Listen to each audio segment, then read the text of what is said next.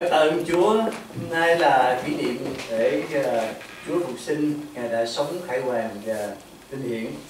Uh, hôm nay được sự vui mừng, ờ, uh, mục sư Chúa Tọ cũng như uh, kỷ viên ở trong uh, hội thánh sẽ có một bài uh, việc thánh ca để tôn vinh Chúa buổi sáng hôm nay. Để kính mời mục sư.